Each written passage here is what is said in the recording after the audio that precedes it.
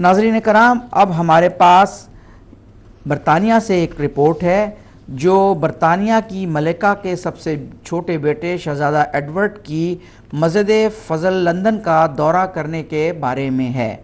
ملاحظہ فرمائیے۔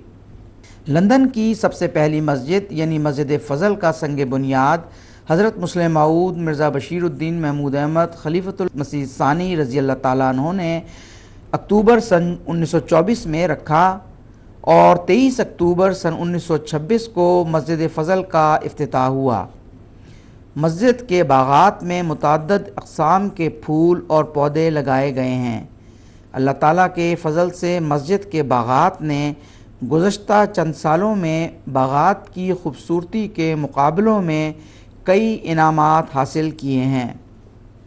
برطانیہ کی موجودہ ملکہ کے سب سے چھوٹے بیٹے Prince Edward Earl of Wessex نے مرخہ سات جولائی سن دو ہزار گیارہ کو مسجد فضل لندن کا دورہ کرنے کی توفیق پائی۔ Prince Edward London garden society کے سربراہ بھی ہیں۔ حضرت مرزا مسرور احمد امام جماعت احمدیہ عالمگیر نے شہزادہ ایڈورڈ کا استقبال کیا۔ حضور انور ایدہ اللہ تعالیٰ بے نصر العزیز کے ساتھ مسجد فضل کے باغات کے نگران اعلیٰ مکرم شمیم احمد خان صاحب اور دیگر وفود بھی موجود تھے۔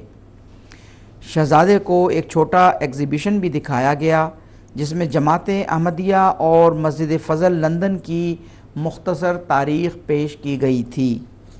اس کے علاوہ شہزادہ ایڈورڈ کو خلافت احمدیہ کے انیس سو چوراسی میں برطانیہ منتقل ہونے کے بارے میں بھی معلومات فراہم کی گئیں۔ حضرت خلیفۃ المسیح الخامس ایدہ اللہ تعالیٰ نے جو بذات خود بھی علوم باغبانی سے گہرا شغف رکھتے ہیں، شہزادہ ایڈورڈ کو مسجد فضل کے باغات کا دورہ کروایا۔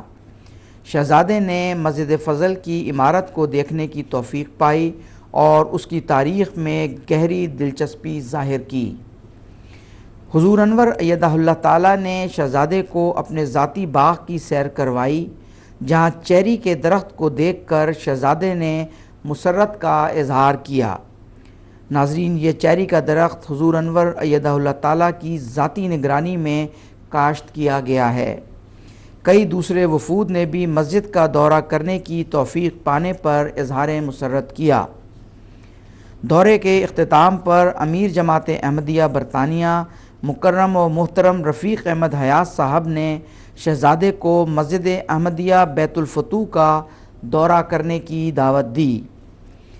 امیر صاحب برطانیہ اور باغات کے نگران اعلیٰ نے شہزادے کے دورے کو جماعت احمدیہ برطانیہ کے لیے ایک بڑی کامیابی قرار دیا۔